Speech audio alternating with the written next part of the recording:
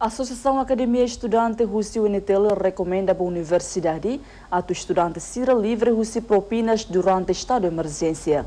Estudante Sira declara lá a condição economia a selo escola, também durante estado de emergência lá ia rendimento. Associação Academia Estudantil Universidade Nacional Timor-Leste, quinta-feira, né, a conferência imprensa e a campus central UNTL, onde recomenda a no governo a tu forte decisão nebe adequado para estudante universidade Tomac a tu livre husi inserção propina semestre tinanri hunrua ruanulo.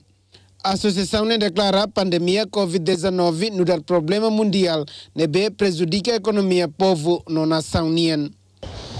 E a minha petição ida vai ir a me submeter para o reitor, depois o reitor encaminha para o ministro do Ensino Superior, Ciência e Cultura, e neba, primeiro a me introduz que ataque, Estado, nessa hoje, e a introduz.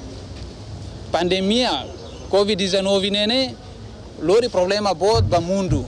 Liliu, afeta para Itania, economia. Incluímos Estado RDTL.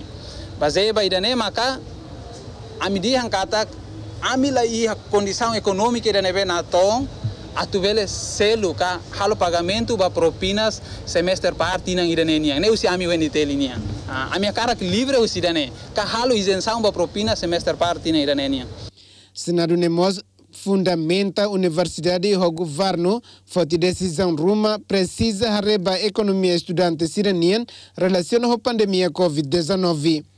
Também durante a história de emergência, estudante sira lá ia condição economia a selo propinas ba semestre tinan rihun rua rua nulo. João Aníbal, Jerônimo Mono, Bartate.